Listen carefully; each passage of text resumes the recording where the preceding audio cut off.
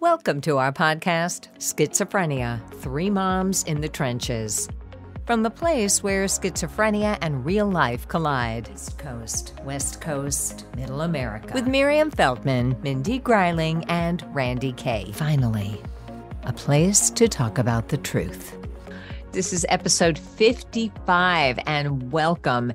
Today is really interesting because we're going to turn the tables I have no prepared statements except a bio to read because today we're going to turn the tables and we have a therapist here who's going to question us and we get to answer the question. So, the topic for the title for this episode is What do families wish their therapist knew about schizophrenia? And our guest is a licensed marriage and family therapist and a certified alcohol and other drug counselor. And she's not new to this. She's been in the field for 15 years, has her master's in marriage and family therapy from Northwestern. And she's trained in also attachment focused EMDR, eye movement desensitization reprocessing. So I Leah Brennan is her name. And Mindy, I'm going to hand it over to you because you're the one that made this connection. And I'm going to let you do the transitional statement. And then, Leah, I'm going to pass it on to you to start asking us questions. Mindy. Several years ago, um, I was part of a group of women leaders. Many of us were state legislators that were interviewed for a book that a wonderful psychologist here in Minnesota was writing and Nancy Ankeny. And she is the one, when she heard about our podcast through a mutual friend of ours, recommended Leah. And I didn't know until just right before the program here that Leah is a friend of her daughter's. And so clearly, Leah Brennan is very qualified to be there. And she also has this connection with a mutual friend of mine. That book was published, by the way, and that uh, was my only experience with a psychologist or a therapist. I've never gone to one. So, this is a very fascinating program for me. Most people I know that are dealing with sons with schizophrenia have therapists, and I'm an oddball. So, I'm fascinated by this program. Thanks. And what is what is the name of that book? I don't know. I, I mean, I have it in my bookshelf downstairs, but I can't remember the name. I have it. you do? Do you remember the name? Minnesota Women in Politics. And Nancy um, wrote this book, Nancy Ankeny in, in St. Paul, Minnesota. She just a wonderful, wonderful clinician and a wonderful person. Um, wanted to um, get on record what makes women in Minnesota, what what got them into politics. So family of origin stuff, was it experiences growing up? Was it a mentor or a, a teacher? Who who kind of helped guide women who wound up in Minnesota politics? Um, how they got there. And so Mindy was one of the interviewees. Um, and when I heard about the podcast, I, I, said, that name rings a bell. That name rings a bell. And so I, I called Nancy and I said, do you know Mindy Greiling? And she said, oh yeah. So that was the connection. Okay. And I don't think I even mentioned mental illness in that book. I don't think I did. I think it was. Yeah, I haven't read it in a long time. Yeah. Prior to Jim being sick. It was it was a long, long time ago. I was still in college, I think, when she wrote it. Yeah. Mm-hmm. Wow. And now you've been 15 years practicing. And my understanding is that you wanted to kind of grill us and and find out what we go through and how you as a marriage and family therapist can be better informed, which I love because all of us have had the experience of having therapists not understand what we're going through. Yeah. So I so applaud your being here and wanting to question us. So, Leah Brennan, unless there's anything else we need to say about you that we don't know, I would love for you to take over and just okay. ask us what you want to know. Okay. Well, can I lay a little groundwork? Absolutely. Um, great. Okay, so the reason I'm I'm so thrilled to be here, I find the three of you amazing, and I know you hear that a lot, but I there's, um, it's just been really inspiring to listen to your tenacity and your your just the the warmth and the generosity of spirit that all three of you bring to. I've I've all, I don't know if I've heard all the episodes, but I've heard a lot of them. Um, because it's one of the main places I came to when I realized I am completely not prepared to help um, families who are dealing with a diagnosis of a, a, a minor or adult child with a severe mental illness or and or, and or schizophrenia, right? Um, and so what happened was in the last maybe six years, I've had four different families, um, a, a, couple couples and, and, other and two more individuals um, coming to me saying, "Hey, I've got something going on with one of my kids," and it became clear over time in different ways with each, each of these clients that there was a severe mental illness going on. There was psychosis. There was it was, and then eventually all four of them were in these in these families were the the, the adult children, all sons, were then diagnosed with schizophrenia. And so these clients of mine we'd meet. Um, this is all pre-COVID, so it was all in person, and I was just I am great. I'm a, I got a great education. I have an amazing degree and I'm I'm a seasoned therapist and I'm acknowledging I'm not ready for I'm not prepared for this family. Mm. Um I, and that's the problem for me. I don't I don't the way that I practice I I consider my clients to be the experts at their issues and the experts at themselves. Um I, the and metaphor I use is I'm carrying a flashlight that they don't have and we're walking along they're letting me walk along their path with them their life experience, their family experience. And I happen to have this special flashlight that they don't have. So when I shine it on the path, we illuminate different things um, that they haven't seen because they've been walking this path almost in the same way over and over. Wow. And my goal is to teach them how to create their own flashlight so that when we aren't working together consistently or we've taken a break or terminated, they're they've got they've got that illumination. And I can't do that if I'm not informed, right? Um, so I did a lot of research, started to look around. I found your podcast. One of my clients actually said, Have you heard of this? And then I started listening. Wow. Um, yeah. Well, thank you. That's, I so applaud your curiosity and, and your awareness that you don't know everything because I think it's been difficult I know Mindy has never tried it, but you know, it's been difficult for me in therapy to. I, am not currently in therapy, but when things started with my son, I went to see somebody to see what I could do, and they really couldn't understand. So I really applaud this. Yeah, I, I appreciate your honesty, and even though I haven't been, Jim has been to many therapists, and I have never felt like I had a relationship with them. So the fact that you're here, you're so honest and open uh, thank you. You know, we spend so much of our lives pounding on doors and screaming at the top of our lungs, listen to us, listen to us. We have important information.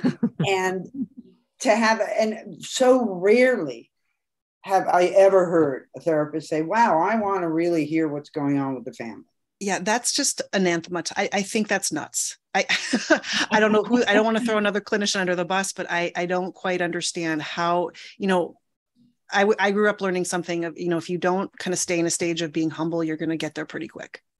And so i'm i'm trying to be you know this is my humility here. This is you know i don't have to know everything but i i think i am obligated as a professional ethically to to learn what i don't know. Okay, so um, since you have listened to our podcast a bit, you know a bit about our stories. And I just want to speak for a second to any listener for whom this is your first episode you may be listening. It is episode 55, but there's a lot of episodes in which you can hear our stories, but that's a lot of listening. So we are three moms who have three sons, my our three sons, and they've each been diagnosed with um, a serious mental illness called schizophrenia. We have each written books about our experience to try to turn our experience into learning for others and we have this podcast. And so you know our our books are you can check the show notes for them. They're called fix what you can. He came in with it and ben behind his voices.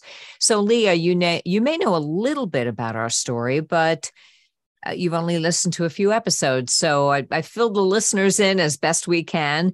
And so I know there's three of us here. If you were running, if you were running a group of families dealing with schizophrenia and a loved one, what might be your first question? Like, what would you want to know?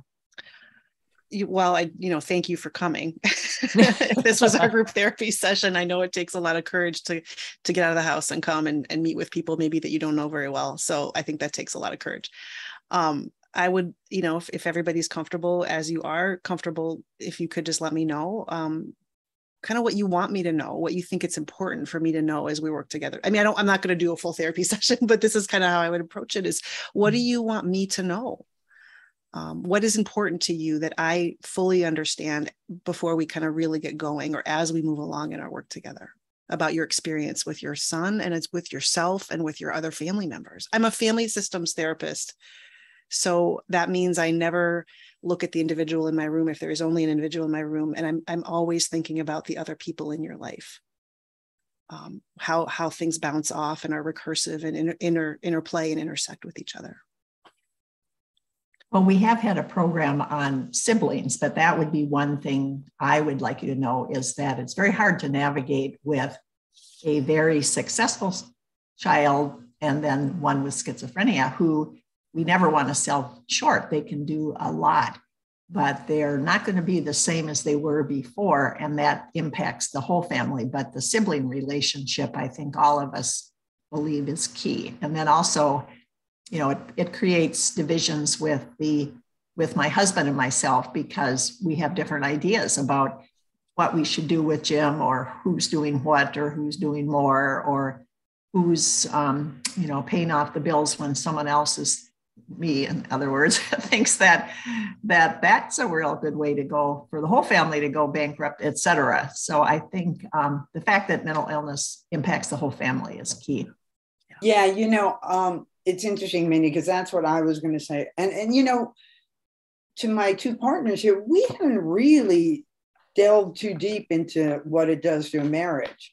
We haven't really talked about it very much, and that's a big, big component to this is how you navigate this new world and somehow and we've all three of us we're still married. You know, usually, not usually, but so often you hear it destroys the marriage, and I can see how that's possible.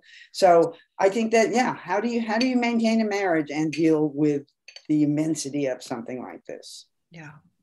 Yeah, I would chime in with that. Where now my situation is a little bit different from the two of you in that my husband is not the birth father of my child. This is my second marriage. And so when my husband Jeff came into our family, he knew what he was marrying into. I said, Look, this is the package.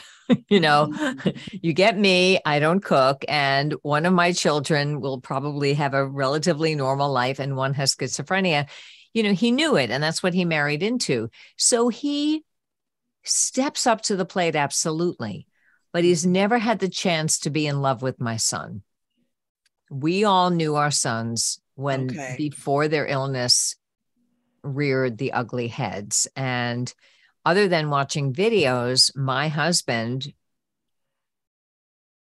didn't have a chance to fall in love with my son the way he's fallen in love with his grandchildren. And so he's a very dutiful dynamic and he steps up to the plate. And in a way, it's easier because he lets me call the shots and he does what I ask him to do. Um, because he wasn't there from the beginning, but that also makes it, you know, a little a little different. You know, this this step parent dynamic is a little bit different. So um yeah, that's what I will add to that. That I mean, I think that's amazing. These three different. I mean, it's such a testament to. I think you know, it's a reflection on you guys that you partnered up so nicely and and and, and staying and, and sustaining that. I mean, I think that's hard with you when you just have a normative kind of experience of parenting, um, as opposed to this is you know this is isolating and can be lonely is my understanding from listening and reading is this can be isolating and lonely as a parent. Um, and maybe even as a spouse within the relationship if if one spouse wants to handle it differently or or just has a different kind of approach to the division of labor. Um, and it's not just the d- division of labor and tasks and how you deal with it you know um, randy sometimes like i think and hearing what you just said maybe it's kind of a blessing. I don't know, Mindy, what you go through, but what I experienced with my husband and I see around me with other couples in the same situation is it's I think it's easier for us as women, as mothers, to move forward with this seismic shift in what it means to be a mother and who this child is going to grow up to be and all of that. I think men get stuck. And I think that especially with their sons, it triggers things in them. And there's so many complex psychological and emotional things at play that it's very complicated. You know, it's very complicated because I think precisely because they were in love with this person, this son, and they had all those dreams and ideas, and they see this person, this son, as a reflection of them, as a part of them. And I think it's very complicated. I hear I hear that you know a, a, therapist working with a family where this is going on is is needing to be some kind of a, a good grief counselor. I mean, Absolutely. this is such a loss of expectation or an unmet or unex, you know unexpected um, parenting demand, long term and short term. Well, it's a loss. It's a loss, not only of that, but it is you've lost your son. Yeah. And, and you lost the person you knew, and it's a different person. And so you have to find a way to mourn the loss of your child without any closure because they're still here. And so sometimes, you know, through this whole path, I thought it would be easier if he had just died yeah. in terms of managing my own feelings. I think we've all felt that way. Um, one thing I've noticed as I, and I'm the oldest one of the three of us here, is when I get together and I'm in two groups with one is five moms and one is the moms trying to the fifth, and they're all so I'm with um, uh, nine other um, mothers who are who are younger than me, and they still remember the son that Mimi's talking about that that uh, she fell in love with. I'm to the point where I can't remember anymore what Jim was like before he got sick. He's 45 now. He just had a birthday on Monday and he got sick when he was 21. So all of a sudden, or not all of a sudden, but gradually, he's become who he is. And we just appreciate him for who he is. And I cannot remember, I can look at pictures, you know, and kind of think of things, but but I don't think of them before and after anymore because my memory's gotten foggy. And I think that's helped my husband because he is not, we're, I think we're done grieving to, you know, most of the time. And we're on to what is and then trying to cope with uh, what we have. And our biggest fear then is not the grieving anymore, but the what next when we're not here. So it also needs to be the therapist needs to be ready to help the family or the the parent in the in my like if it's you guys in my office, I need to be prepared to help you over the developmental lifespan. Um, mm-hmm. Um, it's it's not just the acute chronic stuff. It's also you know 20s 30s 40s and then as you as a parent are aging and maybe not as you know available or mobile or whatever else is going on so far so good but i just so far so good into this Well, it's it strikes fear in the heart of any parent, no matter how healthy the child, and um, certainly that that comes into play at the, at this point. We all have children in their 30s and 40s. We hear from a lot of listeners who are just starting out, and and that's not a fun thing. Eh, you know, they're in crisis what do I do? How do I do it? That it, my child has delusions and he thinks I'm evil and I don't know what to do. And how do I kick my child out of my house? And we're aware that we've been at practicing this for quite some time. And so we have a few answers. I will say that in my experience prior to this, and I hope this will help you, Leah, is the least helpful things I mm. uh, encountered was, oh, maybe there's something wrong with your parenting and you could you could have prevented this or you could have seen this sooner or you could change your parenting or you know that kind of blame that families get is something that was not helpful. I had one therapist i don't know where he studied and he actually since apologized who said there's nothing wrong with your son. I think he has ESP, and that's a burden. So you have to nurture this gift. When my son was really having psychosis. So and then there was another therapist who said, mm, You're just too overbearing. If you just get him his own apartment, he'll figure it out. So there are, I think my biggest beef is that, and I know there's a Canadian author, Susan Inman, who wrote a book called "When Her When Her Brain Broke" or something about her daughter's schizophrenia. And her big beef is that in Canada, to be qualified as a school psychologist, you don't have to take courses on major mental illness. And mm. I can't speak to many of the programs, and maybe Leah, you can tell me what your program was like. But I do have a friend whose daughter has a master's in school psychology, and uh, taking a class on major mental illness was an elective. So I would say that it, with for one out of four families dealing with serious mental illness, that it should be a requirement not an elective. So and and that includes understanding that by the time you meet the family we're yeah we seem a little crazy because we have tried everything under the sun and we're already at the end of our rope. Sure. and the stress level that we've been living with unhelped and uneducated and unsupported and disrespected can make us seem as if we are the problem when probably nine times out of ten we're not. Absolutely i mean that's just you know so so what i'm hearing there is again this idea of respecting who's coming into your room. Um and you know this idea of blaming a family or blaming a parent or you know the really that's i guess it's not unfortunately so old school to blame the mom is is just such an outdated mode of thinking. Um you know in, in substance use in, in addictions treatment we talk about um, you can't control the addiction you didn't cause it and you're not going to be the one to cure it and i find there's a lot of overlap or i'm hearing in my own brain hey this is so similar to how these how we can approach this um, one day at a time living life on life's terms. Those are old aa adages that i think apply um, when you really need a trite saying to help you get through that minute or hour with whatever something's going on. But the idea that you know this is not something a parent caused um, being a loving parent doing the best they know to do at the time this is not something that we can lay at their feet as it's you know you caused this. Um, so therapists would probably need to do some help healing and validating hey that wasn't okay. If you heard that from another mental health professional or practitioner you know i'm sorry that that happened to you. You know because i would imagine that would erode trust. How could you come back into somebody else's therapy room and try again? Or, or how could you ask your husband or partner or or other children to go to family therapy if you'd already experienced something like that? Honestly, we feel so much at the time of the time that we're, if not at war with, certainly in some kind of high stakes chess game with the health providers. We don't feel like they're on our side. Yeah.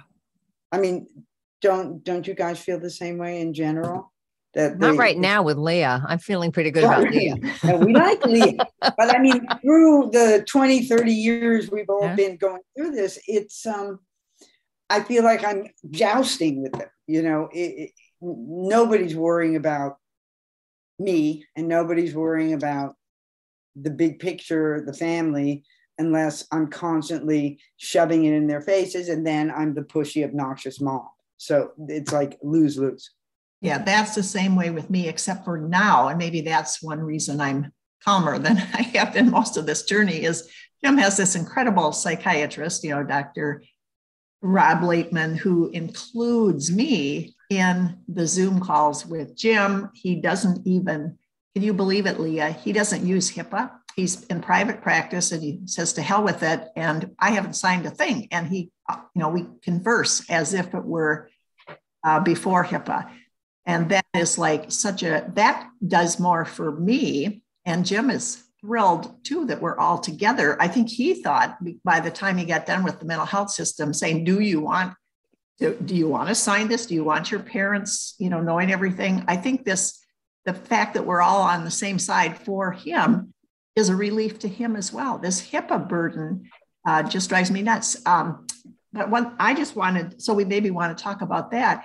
But also, I want to ask you, Leah, you know, do you think there would be anything in it? And how could you convince someone like me, whose son has been sick for, um, you know, almost 25 years, would would is it too late for me or what could I get out of therapy? And then how is that different from somebody that's starting out?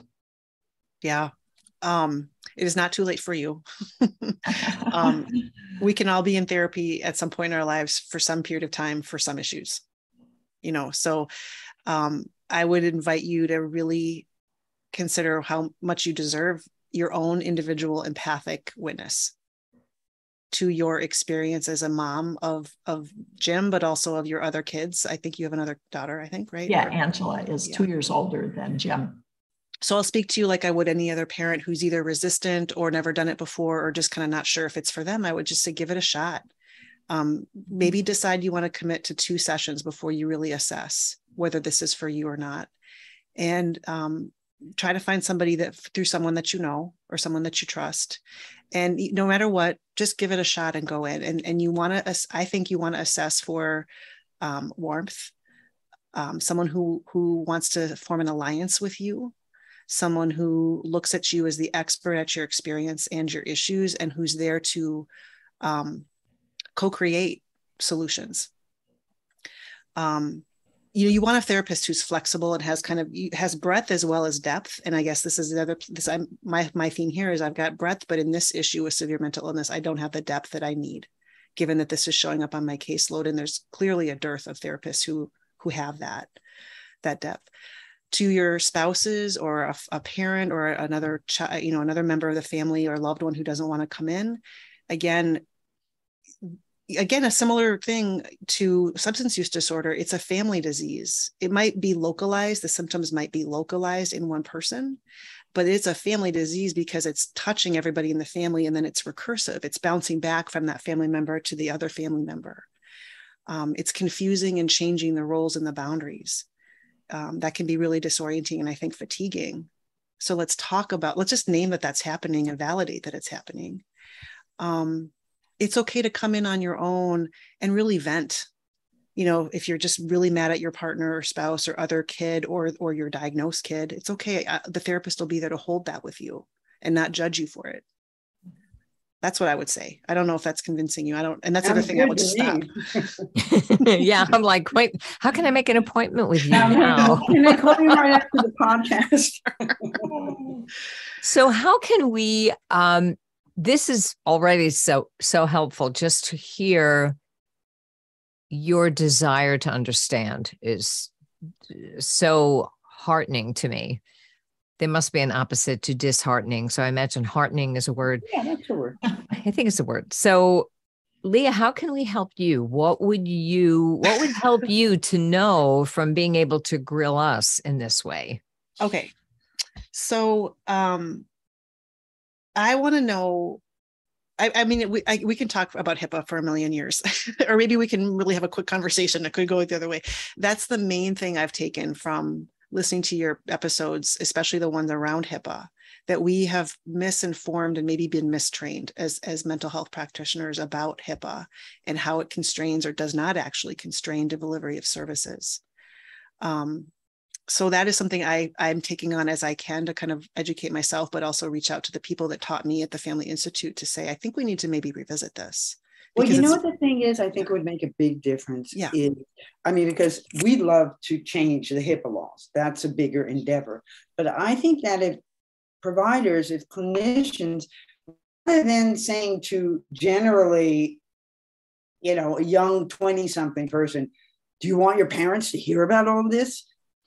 If it was presented in a different way, like if you could sign this paper, then we would share information with your parents and everybody would be able to be on the same page. I think that when you you present it to the person with the mental illness in a way that's going to just trigger no of course i don't want my parents to know about it that that that just kills it before it even could possibly happen okay that makes so much sense hey yeah. let's let's let's make sure we're all be able to collaborate right. since your parents know you better than I do. Your parents are truly the expert at you. Yeah, um, when these people, you know, schizophrenia is, you know, it emerges for men in their late teens and early 20s. Well, they're right on the heels of being a teenager where you don't want your parents to even know your name at that point. So, you know, of course they're going to say no. Yeah. you know, I would, I would, I, I can imagine myself saying, you know, it's, it's, it's, you're really, um, it really puts me as your therapist at a disadvantage if I can't talk to your parents. Um, I, I'm only with you for, you know, that's the other thing. I mean, I'm not, I'm not going to see, you know, your sons in an outpatient setting, but I will see the loved ones and the parents in an outpatient setting, right? Or maybe I'll see you with your son, maybe once or every other week or once a month. You'll, you will come in and we'll do family therapy. But I would say to the son or the the loved one, you know, we're, you're you're putting us as a team at a disadvantage if if I can't have some communication with the people that spend all the time with you at home. And, and we could talk about, I would say, you know, we could maybe talk about some limits, some stuff I won't, I'll hold for a couple sessions. And if you're not going to tell them, I'll help you disclose it. Um, but I would set a boundary and say, you know, I, I, I don't want to hold this knowing something that you know that we both know your parents don't know. I don't want to do that. So we probably have to find a way to disclose that. Yeah, definitely. None of Jim's psychi- psychologists um, ther- or therapists have ever talked to me, even if he has signed a release. Um, and I, so what you're saying is like a foreign language to me. I can't believe it. What you're saying is a foreign language to me. How can I effectively treat someone if I don't have the whole picture? Especially complicated stuff like severe mental illness, where there's there's so many different changes going on day to day, minute to minute, hour to hour, week to week. Um, yeah. I would say it's really important. You probably already know this theoretically, but to understand the dynamic that people like our sons don't believe they need any help you may have somebody coming into your office going, Oh, I have schizophrenia. How can I cope? But chances are no. Chances are they're going to go, My mother thinks I have schizophrenia. How do I get her off my back? And so the language of everybody landing on the same page to help each other is much more helpful than um, let's do this or this bad thing is going to happen it's mm-hmm. it, it's this collaborative kind of thought. Also, if we're always taught as when we take family to family or we go to a support group that even though the psychiatrist may not be able to reveal anything that happened in the session with our loved ones, they can ask us for information. And even if you don't get a release, if you call the parents I believe you have the right to ask us questions even without the permission of your patient. Absolutely. So I think most families I know of, and I realize your time is limited, and I realize there's billing hours, and I realize all of those complications, but even a 15 minute phone call of, would you please share with me some of your mm-hmm. observations so that I can get a clearer idea of what the family dynamic is and always that that overarching view of I want to get an idea of what the family dynamic is as opposed to I want to know what your parents think. Mm-hmm. So it's just kind of in the way you phrase it. The three most powerful things I have ever heard from a, from a practitioner.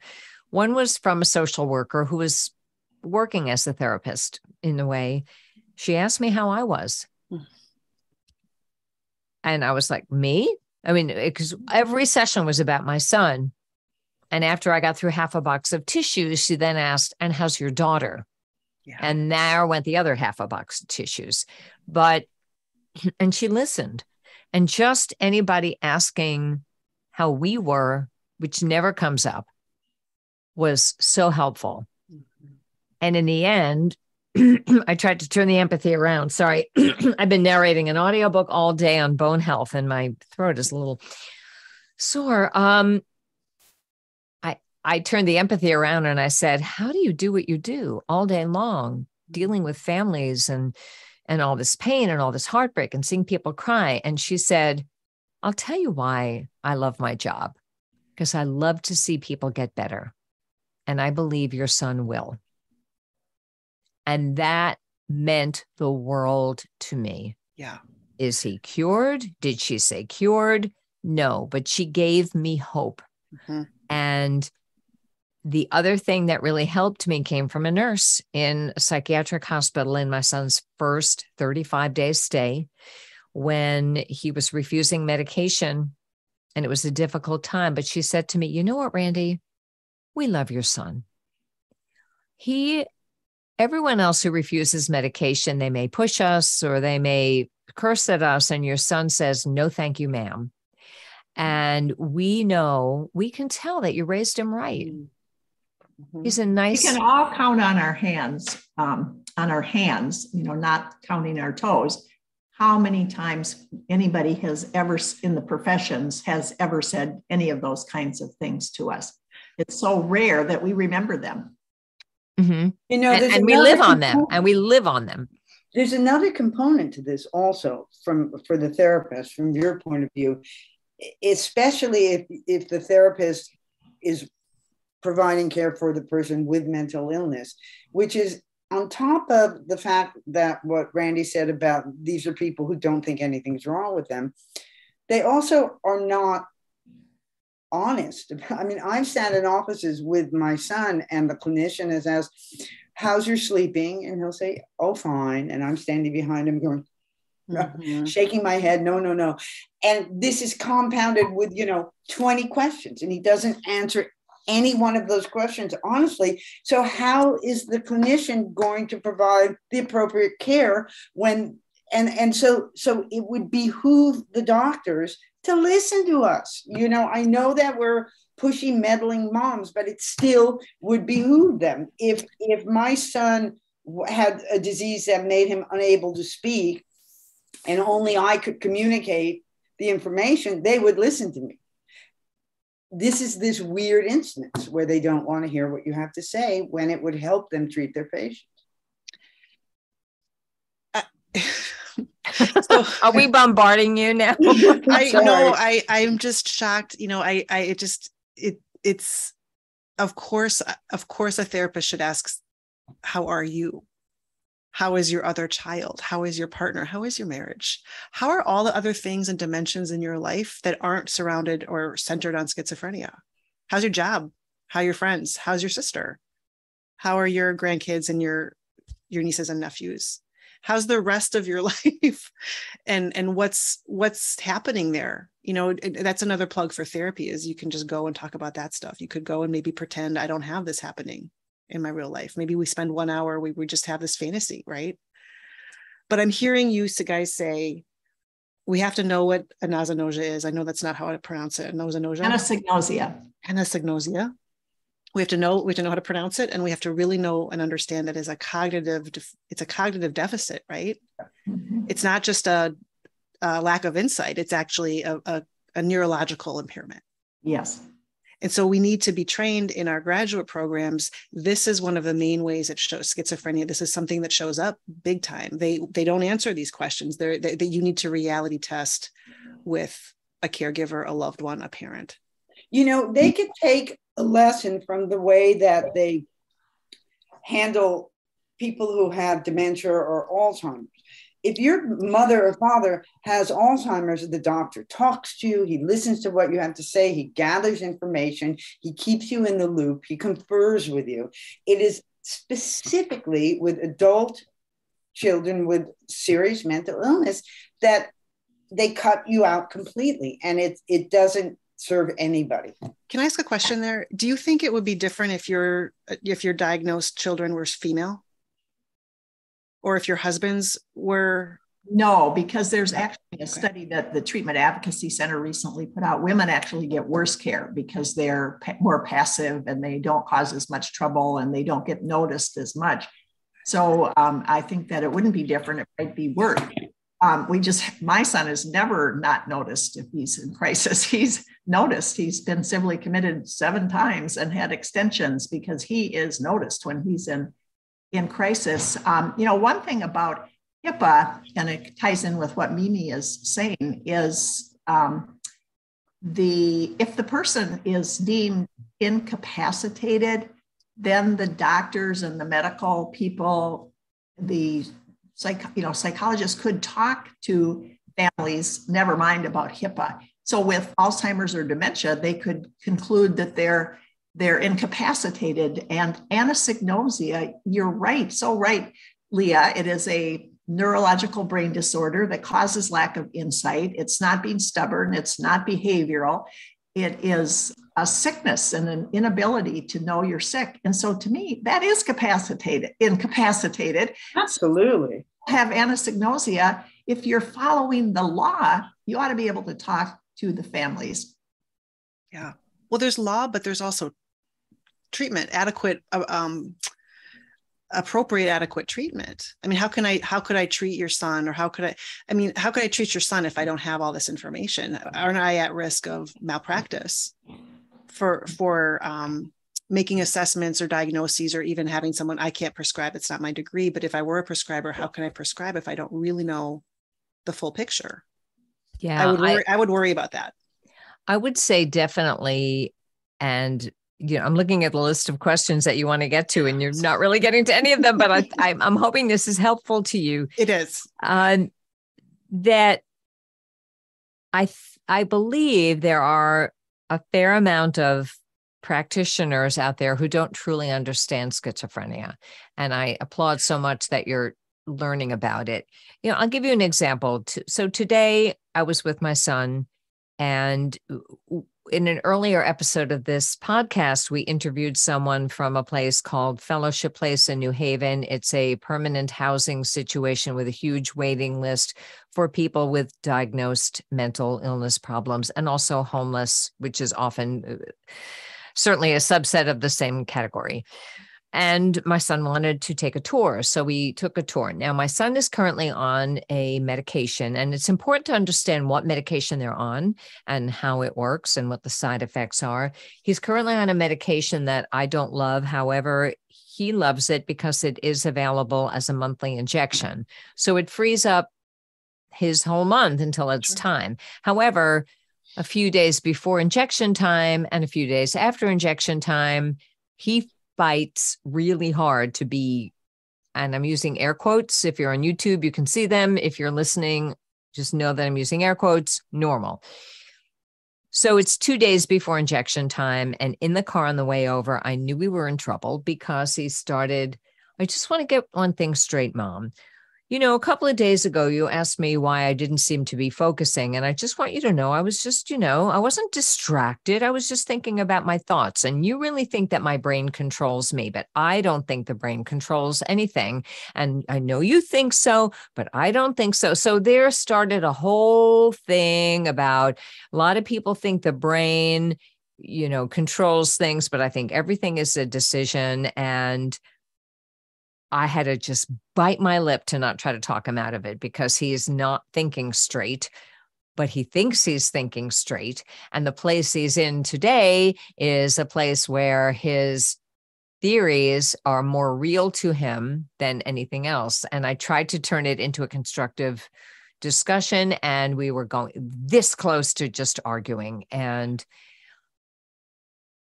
I can't. I, I, decided a long time ago it's not my job to convince him he has schizophrenia. Mm-hmm. But it's very hard to stick to that decision sometimes when he comes up with a theory that you know is scientifically incorrect. This is what families deal with. Now, he needs his injection tonight. I know he won't have his injection tonight. It's not time. His psychiatrist, who is should have retired 15 years ago, his answer to everything is he seemed fine to me. So they don't see the ins and outs of the everyday. Fortunately he's in a group home and and the head of the group home is in contact with me and i wrote her and just said this is what i see and i know he's due in two days but he said it might be three days. Please don't make it three days because he has to show up at work and they're already reducing his hours. And if they see him being distracted, who knows? There's only so much we can do, but these are the kinds of things we go through okay. when he is in need of treatment. He begins to get even stronger into his belief that there is nothing wrong with him. Okay. And so, yeah. If I could just offer, if I may, you know what i'm hearing there is then you're you would want the therapist I, am i'll just tell you if I, you were my client and your family was my client i would say um, that in my line of work is a, it's it's called a sequence So there's an S1, S1, S2, S3, S4. S1s, I don't know why where I was trained calls it this. I've, I've never found out, but I, it's ingrained in my brain. S1s are familial patterns of interaction that happen multiple times a day. Good morning, honey. How are you? Did you walk the dog? Um, what time can I pick you up? S2s are spread out further. They're usually every few months. S3s are anniversaries, birthdays, death days. Mm-hmm. S4s are generational. The first born son of four generations left home and at 16 that's just one example. So okay. what you're describing i would i would i would name for you and, and your family as an s2 and i would we would put into place we would name it we would validate it we would explore it what it was like for everybody in the family. Oh it's three days before ben needs his injection. We go through this a version of this every month. And man are we tired. Yeah and mm-hmm. so I would bet, I would bet if this were a year long thing and I've gone through this 11 times and I've got one more next month, oh Jesus, help me.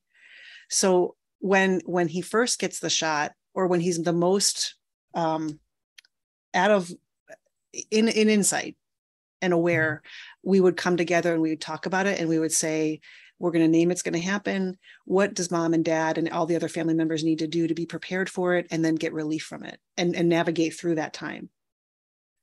Um, I don't know how how frequent that is for everybody else. It sounds like this is a pretty amazing medication, but it causes problems for you on your end, right? It's it's amazing because, and he has said to me, and you know, shout out to uh, Dr. Amador, and I'm not sick, I don't need help. He has literally said to me, I don't think I need the medications, but I'll take them because you want me to, and I'm like, I'll take it.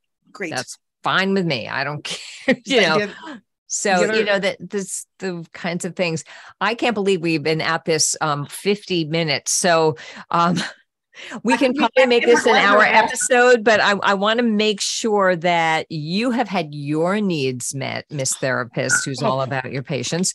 But um, and we thank you for the three the free therapy. But um, what what else are uh, of the list of and we can do another one of these if you like in a, sure. in a couple of months because i think this is going to be helpful to all our listeners and um, but what how can we help you in the last few minutes? The question i really long to ask is um, and i'm so grateful that you're making yourselves available in this way um, how how how can mental health providers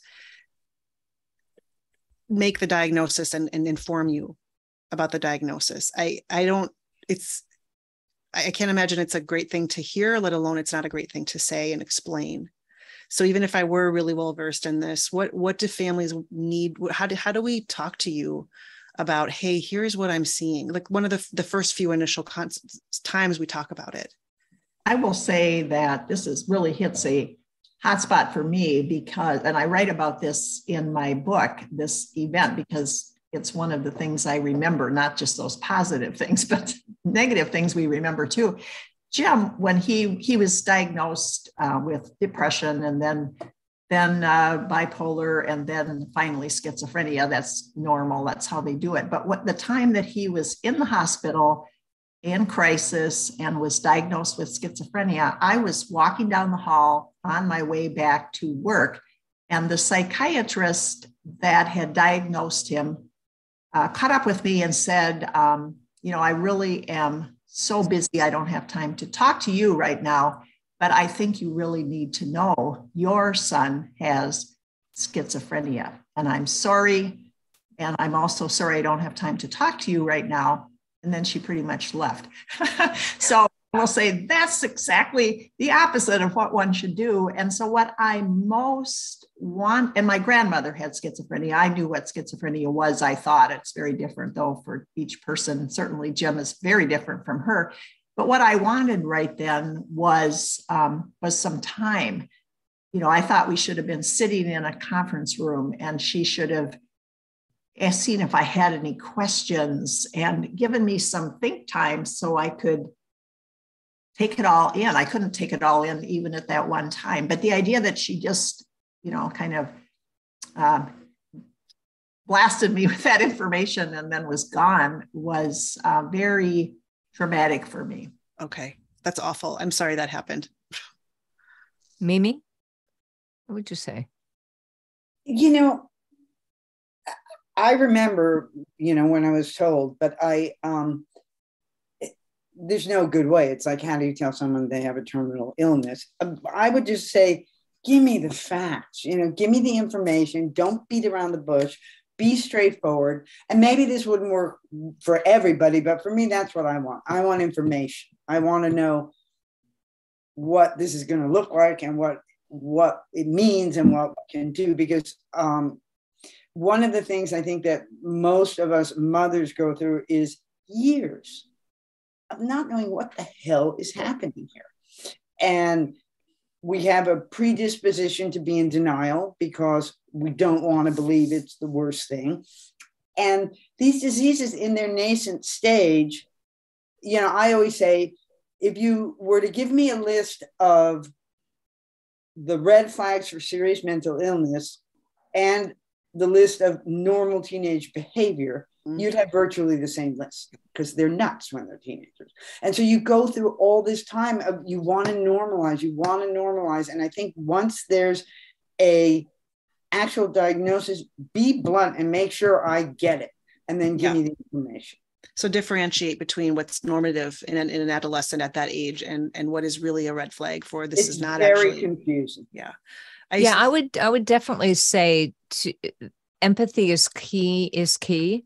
Um, you know, and I keep thinking of ER and all those doctor shows, you know, where they first they say we did everything we could and we did it to the best of our ability, and here's our bad news. But it is bad news. It's the worst news. Mm. Maybe not the worst news. That's all relative, but you know what I mean. Um, what I found lacking was a lack of resources, a lack of education, a lack of respect. It would have helped me to even know before the diagnosis to have a hint. You know, I'm sure this is the last thing you want to hear. Mm-hmm. However, I have a suspicion this may be more than just teenage angst. Mm-hmm. I wonder if you would be willing to read up about schizophrenia, and let's get together next time and see if you agree with my suspicion that this might be schizophrenia. If we know what it is, then we have an idea what we can do. And the earlier we catch it, the better it will be for everyone. That is excellent. I would have loved that. It's kind of like the grandma's on the roof joke, if you remember that one. yeah. Yeah. Tell that joke. I don't know that joke. now you got to tell the joke. Okay. Okay. Well, so the cat died, uh, jumped off the roof and and uh, died, and somebody relayed that to some other family member, and the family member gave Randye's answer. You know what? I didn't need to hear that quite so bluntly. Couldn't you have led up to it, and I could know that, you know, the cat was doing well, and then finally tell me that it died. So then the next time when the person called the other family members said, Well, grandma's on the roof. so well, one had to assume she had died. right. Couldn't you tell me the cat was on the roof before you told me the cat fell off the roof? You yes, so, yes, yeah. yeah. So yeah, there's a much longer version of that story, but you know, totally. you get the gist. Yeah, so, yeah. So I think I think uh, as hard as it would have been to tell us, if we had had an idea of what the suspicion was, yeah, because once I had a suspicion of what was happening, I started reading everything in sight. I and I went, "Oh my god, why didn't anybody tell me this yeah. before?" Instead, they kept telling me how I could parent differently to make this different. Give him a written contract, let him sink oh, to bottom, you know. So if there is a suspicion as hard as it is to broach that, and you can even say, I may be wrong, but I have to tell you that one thing I'm thinking about is it might be this. And if it you is know, this, there are treatments. When what? Nick Nick was first diagnosed with bipolar when he was 18, and that doctor said that. He said, and I want you to know that this is not a final diagnosis. It's unfolding. And I have a suspicion it may end up to be schizophrenia. And it wasn't, wow. it was, it was years so until wonderful. it was two more years till he got that diagnosis. But when that diagnosis came, it, it, didn't flatten me. You know, I, I, had some preparation for it. And like you said, I'd done some reading and all of that. Mm-hmm. I mean, yeah. No one told me that. I had just read when this psychiatrist uh, let me know about this in the hallway. I had just read literally a grocery bag full of books about bipolar disorder. I didn't know that this was a progression, that they always said first depression and then bipolar disorder and then schizophrenia. I did think that was a final diagnosis. I was, and I read all those books thinking, um, well, there's so much about schizophrenia. There's hardly anything about bipolar disorder. And but in the meanwhile, I was so relieved that Jim didn't have the worst disease. He had bipolar disorder. So I had all reconciled to that. So I wish my doctors had done what Mimi's did and what Randye's recommending. I hear that loud and clear. Um, I guess what's what's in my head is we want again this normalization of just talking about mental illnesses that exist so that that no one's saying I don't want anyone to be, have to say I didn't know it was progression. I didn't I didn't know this is kind of how it starts. Why don't we know that about what I mean why can't we know that just as a, a general piece of knowledge? Yeah, you know, a brochure uh, it, it, when I keep thinking, I've said this before on this podcast, but when I was pregnant, there was someone in my doctor's office who was a childbirth educator. And when the doctor didn't have time to see me, I could spend time with her. You you get a, a diagnosis, you walk out with a pamphlet. Where are the pamphlets? Yeah. Where are the lists of resources?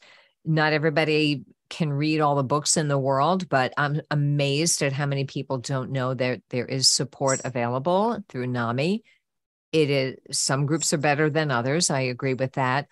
But just to know that I wasn't alone, to know that one out of four families deals with a major mental illness in one of their family members would have made me feel a lot better the fact that I think things are a little different now. My son is 40, but I think people who have children with diagnoses of bipolar and depression and anxiety are talking freely about it. Schizophrenia is still a little bit in the closet, and we're trying to fix that with this podcast. But to mm-hmm. know I wasn't alone, to know that there were resources out there, support was available, tell your patients about family to family as an eight week option to learning in a classroom environment about the illnesses and also meet other people going through the same thing that are there to learn. Um, respect, listen to the families. Those are all things that I think would help.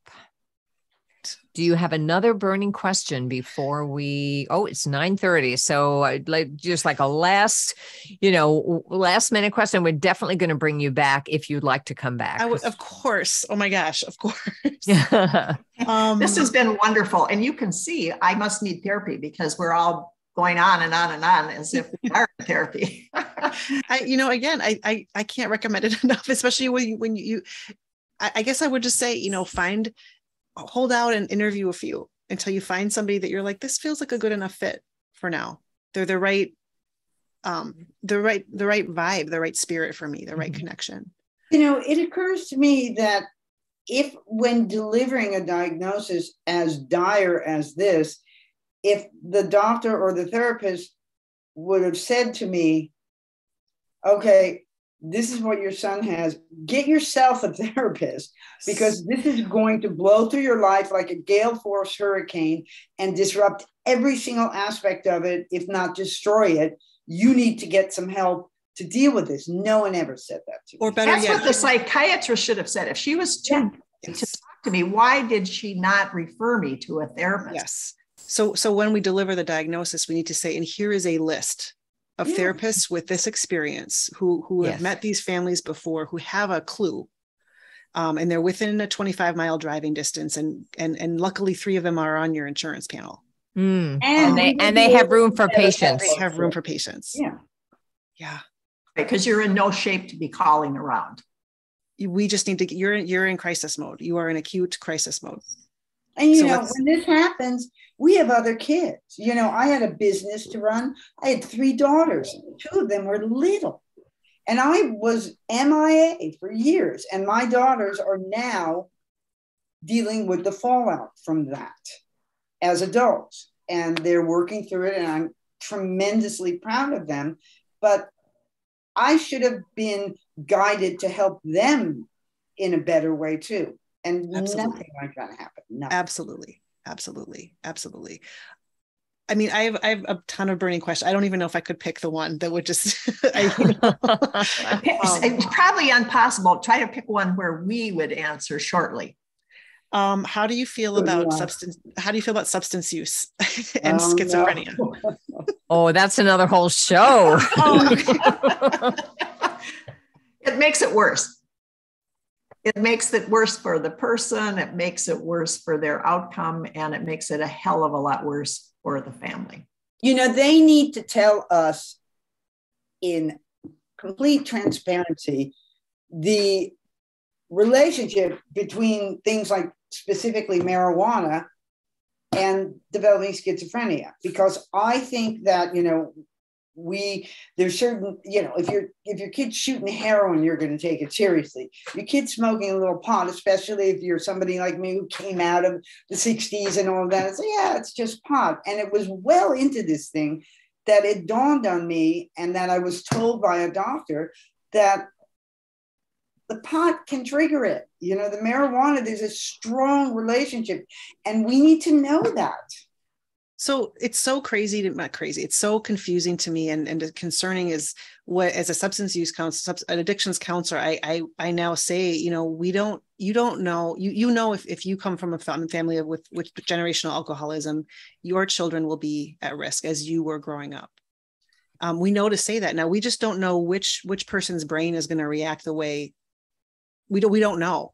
And we say that openly now we obviously say that about opiates we obviously say that about cocaine but we and now we finally say it about alcohol. But you're right we don't we say the opposite about marijuana and cannabis right?